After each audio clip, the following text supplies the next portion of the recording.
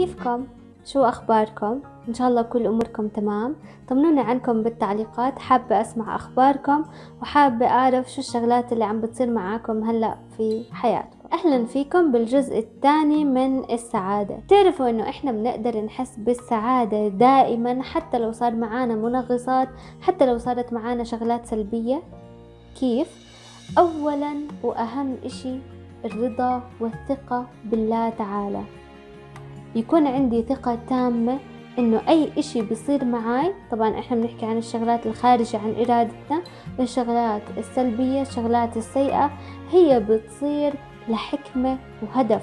ممكن أعرفه بالوقت الحالي وممكن أعرفه بعدين وممكن ما أعرفه.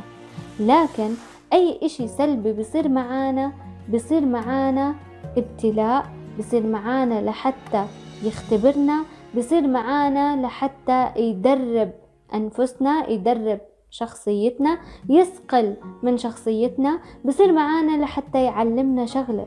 بصير معانا لحتى يكون هو فاتحة خير إلنا.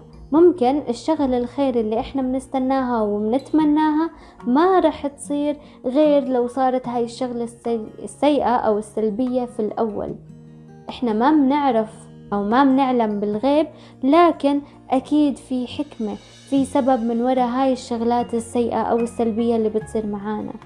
فلما يكون في عندي ثقة لما يكون في عندي رضا بما قسمه الله لي هون أنا بكون عندي سعادة.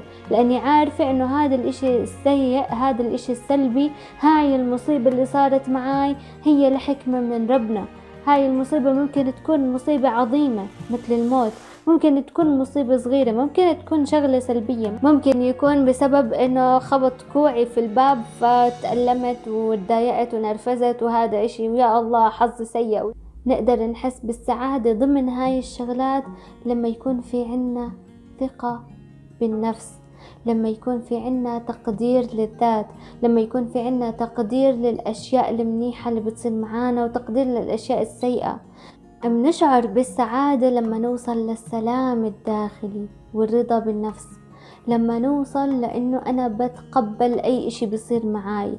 لما نوصل لأنه أنا بتقبل وعندي ثقة إنه أي إشي بيصير معاي وأفكر فيه إنه هذه الشغلة صارت معي لتعلمني هاي الشغلة صارت معي لتوعيني هاي الشغلة صارت معي لأنه هذا الإنسان أنا ما لازم أكمل معاه هذا الإنسان مثلا أنا لازم أبعد عنه هذا الموقف أو هذا المكان أنا لازم أتركه. ليش؟ لأنه في ضرر ممكن يجيني من وراء هدول الأشخاص أو من وراء هذا المكان. فهاي الشغلة السيئة أو السلبية اللي صارت معي صارت لحتى تفتح عيوني على هاي الناس أو على هذا المكان.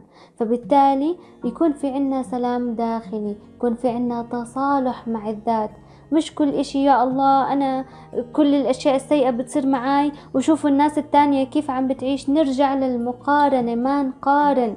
رجاء ما نقارن. ما تطلع على حياة غيرك. كل واحد عنده اللي فيه مكفيه. كل واحد عايش حياته وكل واحد في عنده الشغلات الحلوة اللي ببينها وفي عنده الشغلات المخبية اللي هو ما ببينها.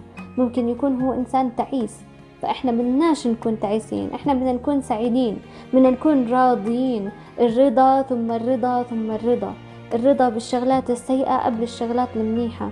وين بتبين السعادة الحقيقية؟ وين ببين الرضا الحقيقي؟ وين بتبين تقدير الذات الحقيقي؟ لما يصير معانا شغلات سيئة لما تصير معانا شغلات تضايقنا لما تصير شغلات تنغص علينا. هون ببين هل إحنا أقوياء ضد هاي الشغلات ولا إحنا ضعفاء النفس؟ ومننجر ورا الشغلات ورا الحزن ورا الكآبة ورا إنه نعيش دور الضحية. وهذا الإشي اللي رح نحكي عنه كمان بفيديوهات جاي. ما تعيشوا دور الضحية. ما تقول أنا كل إشي صار معاي وتقعد وتندب حظك. لا السعادة قرار من جواتك. السعادة بتكون بالطريق. السعادة بتكون بالعقبات اللي بتصير معك. السعادة بتصير وانت بتمشي لهدفك وانت بتمشي لتحقيق أحلامك وانت بتمشي لتحقيق طموحاتك. السعادة بتكون في المطبات اللي عم توقع فيها الحفر اللي عم توقع فيها وعم بتقوم منها. هون بتكون السعادة.